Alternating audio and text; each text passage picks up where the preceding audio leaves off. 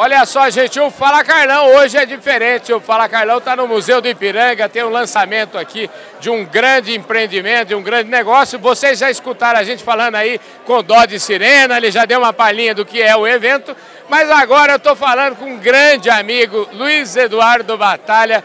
Esse caboclo, pensa num sujeito da prateleira de cima, está aqui do meu lado agora.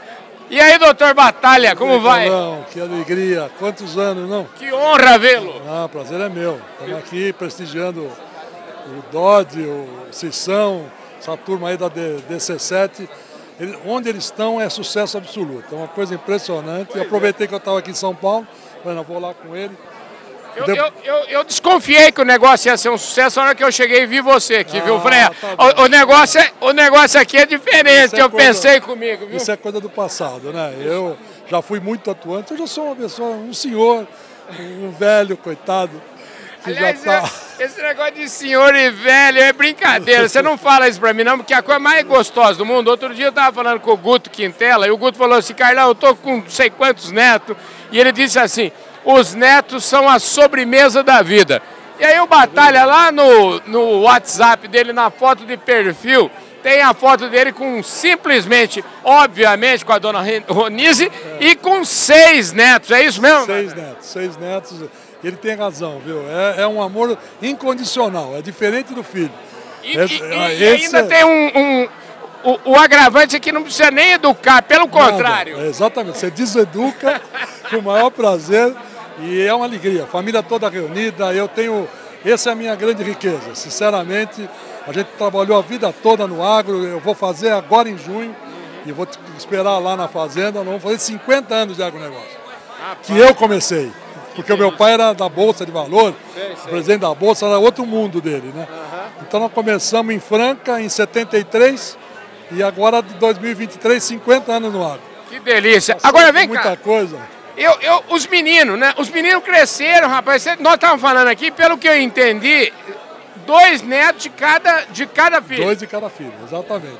E nós trabalhamos todos juntos, uma empresa Até familiar. O Márcio, que eu vi. Era pititico, hoje tem 46 anos. Rapaz. 46, 48, 50. Vai fazer o Felipe daqui um ano, está fazendo 50. Ano que vem ele faz 50.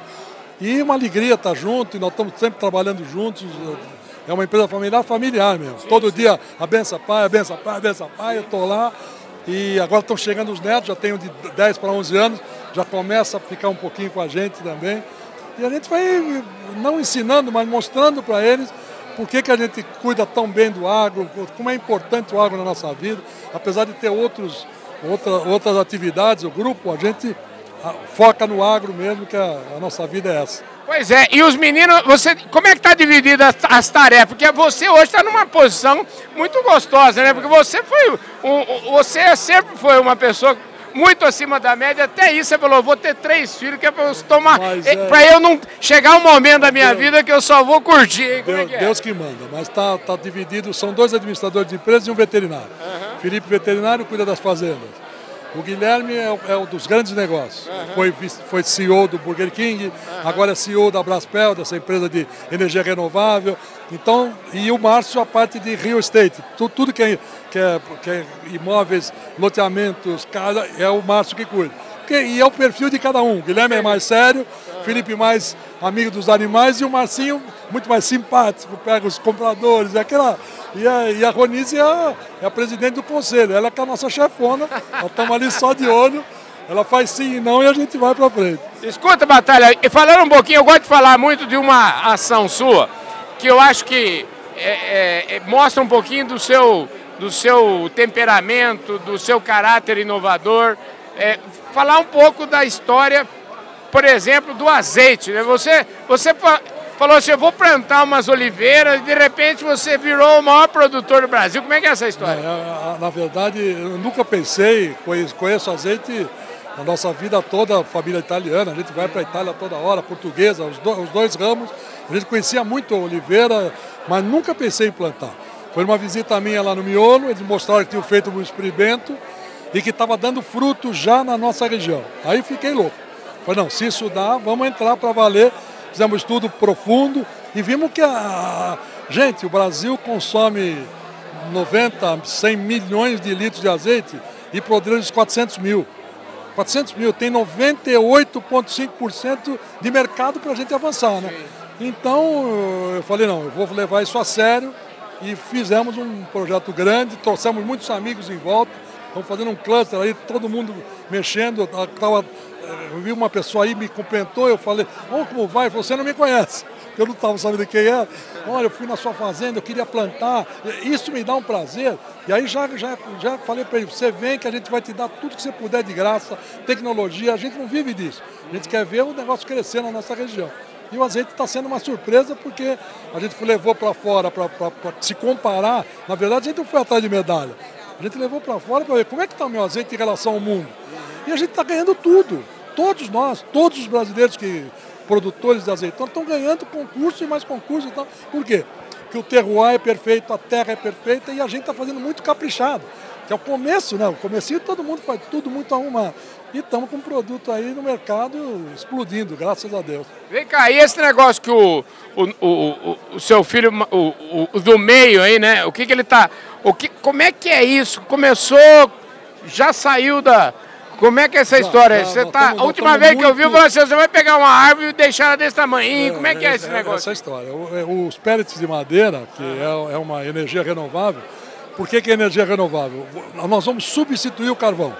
O carvão foi condenado definitivamente a parar uhum. e é proibido e não vai ter mais. E, e como é que para isso? Os compradores de produtos dessas áreas que usam carvão passam a não comprar nem boi, nem, nem soja, nem nada dessas regiões, porque sabem que o carvão está. Então, comercialmente, eles acabam travando isso. O que, que nós fazemos? Nós descobrimos, junto com todo mundo, que já existem milhares de fábricas no mundo de pellets, você pega, uma, na verdade, você pega uma árvore maravilhosa, um eucalipto, um maravilhoso, você consegue com uma árvore fazer 8 milhões de clones. Uma árvore faz 8 milhões de clones.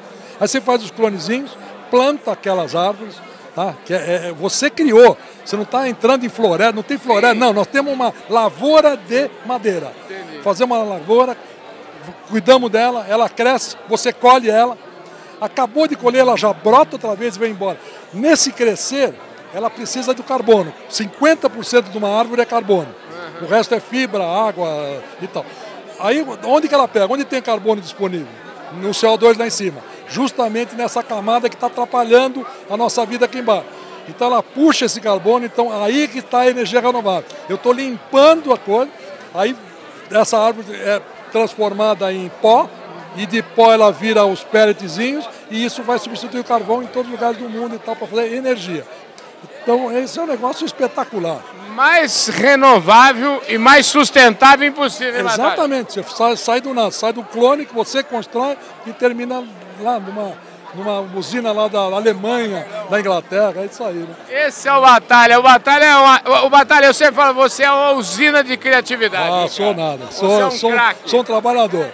Eu acredito mais na, na, transpiração do que na inspiração. Viu? E gado continua firme. Continuamos, tudo igualzinho, Angus, cordeiro da, da Nova Zelândia, uma sojinha e a azeitona. Pronto, tá feito o negócio.